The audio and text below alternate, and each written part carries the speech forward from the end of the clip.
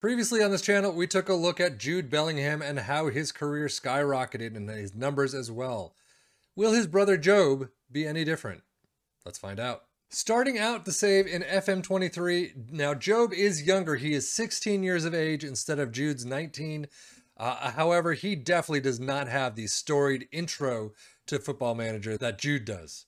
Uh, he has no personal biography yet. He is sitting in the Birmingham under 18s right now uh, it, but he is rated five and a half to 16 million pounds on 180 per week up through 2024. Breakthrough prospect. I am assuming big things for him. Stats wise, though, you can see at absolutely average. Uh, 11s, 10s, a lot of 9s and 8s.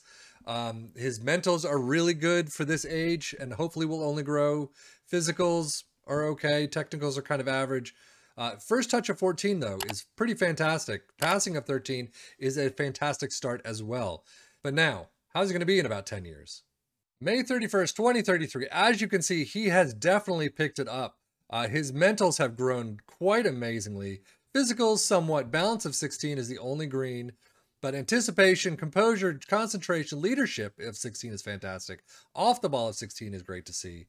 Uh, he is primarily a midfielder and attacking midfielder, so kind of anti Jude's midfielder and DM role. He did move to Leeds in 2026. Uh, is now rated at 22 to 66 million on 70k per week until 2036.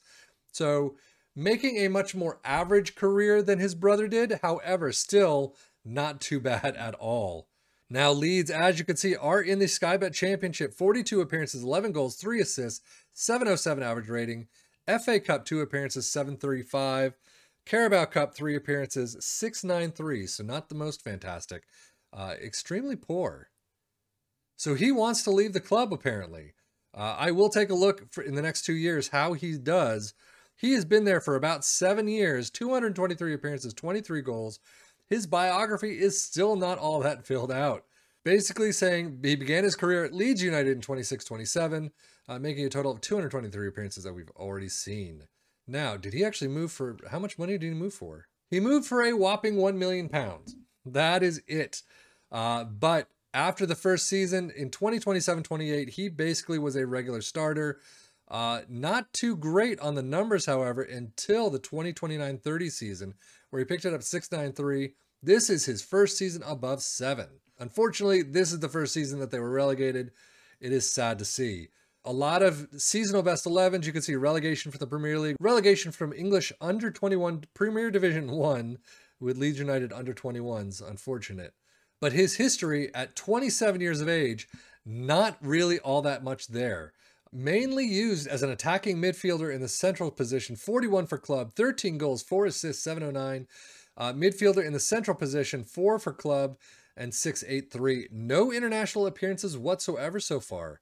That is, I mean, his numbers are average, so I'm not too surprised, but it's got to make for one weird dinner table conversation with his family. How much are taxes in England?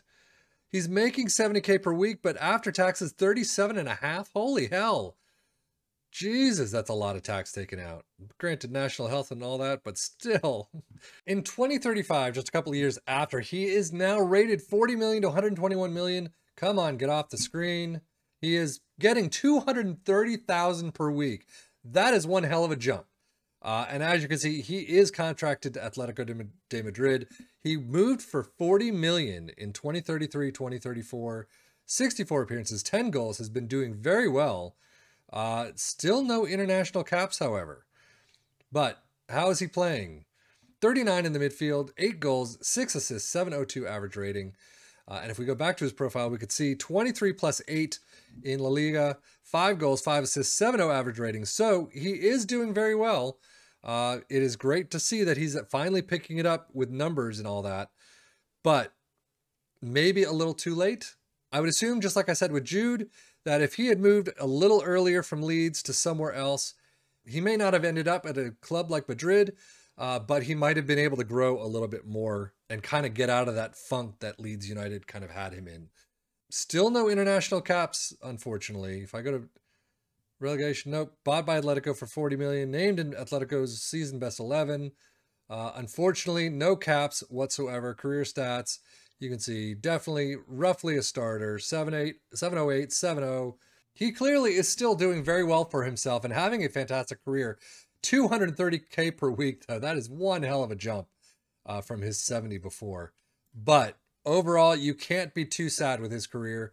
Definitely at some point in the mid 20s to early 30s, take a look at him if you're that far into your saves. He could be a fantastic addition. I don't know about for, you know, a regular starter on a top club like Man City or Liverpool. I don't know how they're doing in here, or Barcelona and Real Madrid, who I'm sure are pretty much at the tops here anyway.